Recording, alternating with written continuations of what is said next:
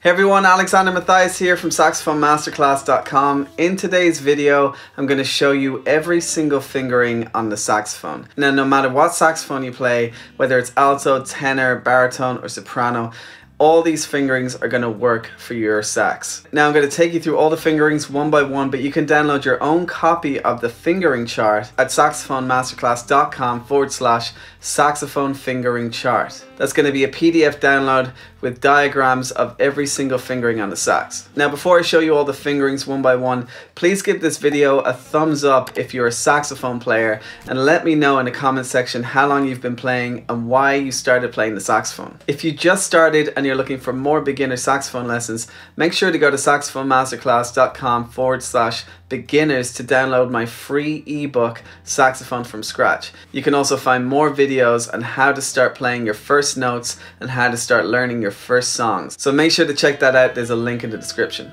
If you're new to my channel, please consider subscribing and don't forget to press that notification bell if you're interested in getting free saxophone lessons every week. So I'm just going to play you all the fingering starting on C sharp with all the fingers up, going all the way down to the lowest note on the saxophone, which is the B flat. Then we're going to start on D with the octave key and then go all the way up to the highest note on the saxophone. So feel free to pause the video and check out the diagram in order to get the fingerings of the notes that you're trying to learn. I'm also going to be showing you all the alternative fingerings for some of the notes like C and B flat and you're going to see the diagram come up on the screen as I show you those fingerings. So let's get started. Let me begin by just playing the C sharp with all the fingers up. So we're going to start on C sharp. I'm going to play you every note going all the way down to the lowest note on the instrument.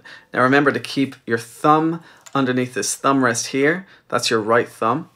And then your left thumb on this thumb rest here. And make sure to not press the octave key for this first load of notes.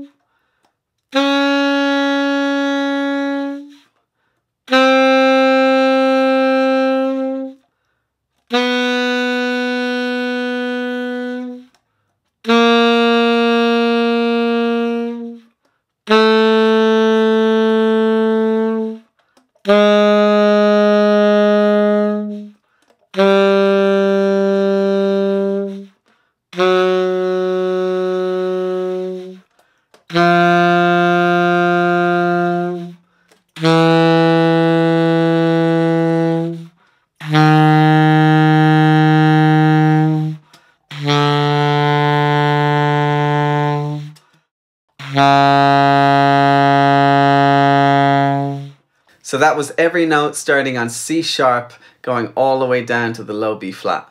Now I'm going to start on D with the octave key, and we're going to go all the way up to the highest note, which is going to be F. So for all these notes, I'm going to be pressing down the octave key at the back, so make sure to press this down with your thumb. And we're going to start on D, which is three fingers on the left, three fingers on the right. It's the same as the D in the lower range of the instrument without the octave key. It sounds like this.